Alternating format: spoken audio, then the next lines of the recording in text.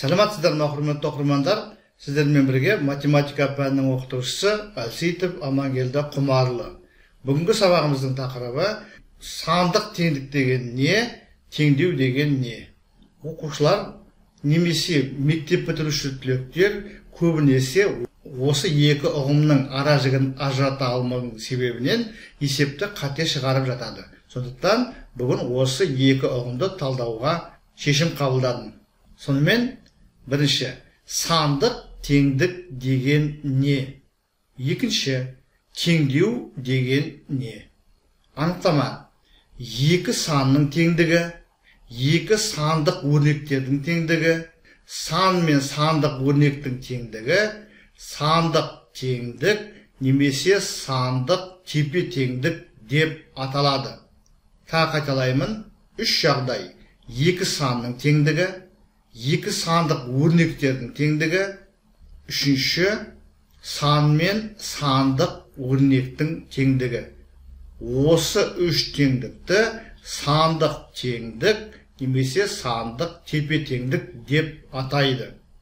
Енді сандық теңдіктерге нақты мысалдар келтірейік. Бірінші 17 тең 17 сандық тепе теңдік. Екінші 19 қосу 11 тең 5 көбейтілген 6 бұл да сандық теңдік немесе сандық тепе теңдік себебі сол жағында да оң жағында да өрнектің мәні 30-ға тең яғни екі сандық өрнектің мәндері өзара тең сондықтан бұл екі өрнек сандық тепе теңдік үшінші мысал 13 қосу 5 көбейтілген 4 тең 33 бұл да сандық теңдік себебі сол жағында біз амалдарды орындау ретін білеміз. Алдымен көбейту орындалады. Бесті төртке көбейтсек жиырма. Содан кейін қосу амалы орындалады. 13 қосу жиырма отыз үшке тең сонымен бұл да сандық теңдік төртінші мысал 45 тең 36 бөлу 9 плюс 41 сол жағында 45 деген сан тұр оң жағында өрнек. Ол өрнектің мәнін есептеу қиын емес. Алдымен бөлу амалы орындалады 36-ны 9-ға бөлсек 4 содан кейін 4-ке 41-ді қосамыз 45 шығады. Үшінші және төртінші теңдіктердің айырмашылықтары. Үшінші мысалда сол жағында өрнек оң жағында сан тұр. Ал төртінші мысалда теңдік таңбасының сол жағында сан ал оң жағында санды өрнек тұр. Сонымен сандық теңдіктің не екендігін түсіндік.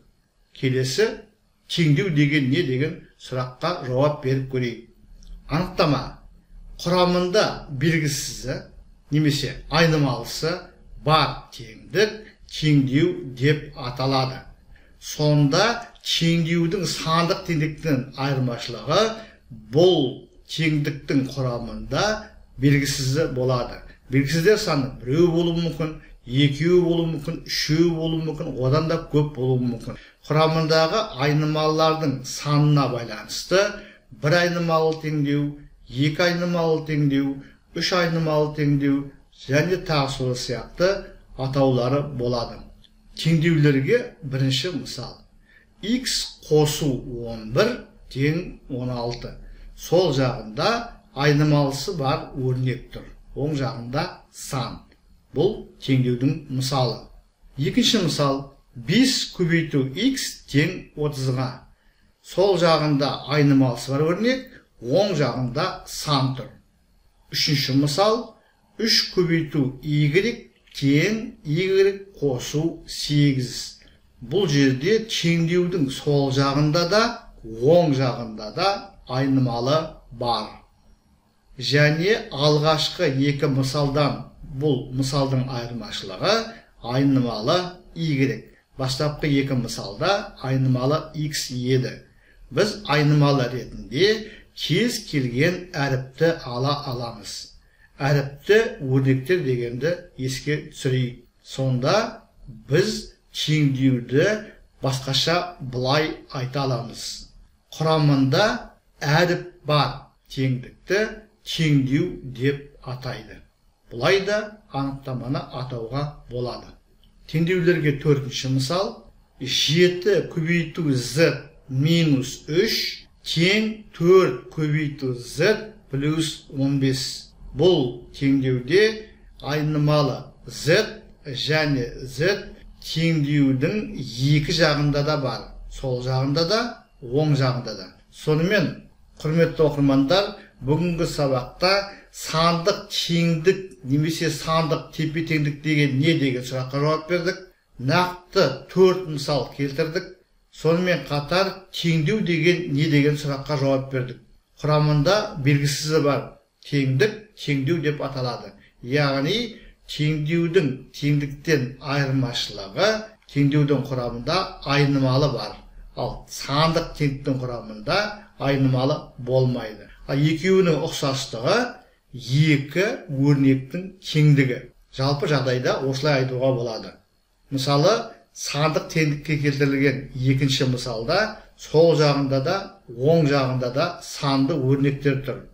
Егер біз әрқайсысын есептейтін болсақ бізде 30 тек 30 деген шығады. Бірінші мысалдағы сияқты таза екі санның теңдігі шығады.